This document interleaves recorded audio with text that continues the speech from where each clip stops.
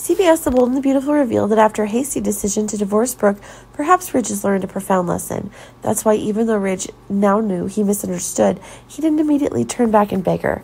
Ridge needed time to think about what had happened, and he just decided to postpone the wedding. It was the necessary work for him to deal with the situation in front of him. Ridge would not immediately abandon Taylor to return to Brooke's side. He realizes that Taylor's not at fault here, so it's not worth the pain. As for Ridge's children, Thomas and Steffy would be hurt if he decided to return to Brooke.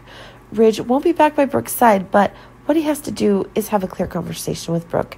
After Ridge postponed the wedding, he went to Brooke's house. Ridge presented the full story and the reasons why he was so determined to divorce her in the first place.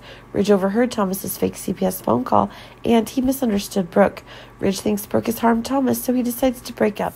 Brooke was furious, but she wasn't mad at Thomas for harming her. She was angry because Ridge didn't trust her at all.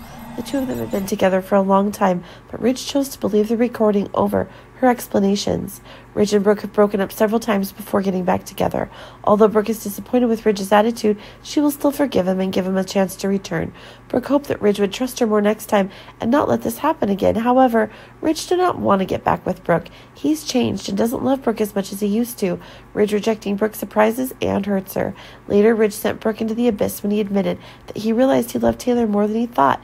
So no matter what Brooke says, Ridge will continue to be by Taylor's side.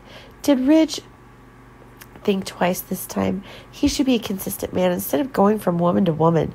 Ridge will return to Taylor's house and confess the secrets of his heart. Ridge was very happy during his time in Taylor's new home. That's when he felt the love and care of each other in a family.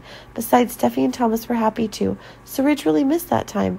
Ridge regretted that the wedding, that the day had to be postponed, but at that time Ridge had no other choice. He will postpone to Taylor again and re-wedding to make up for her.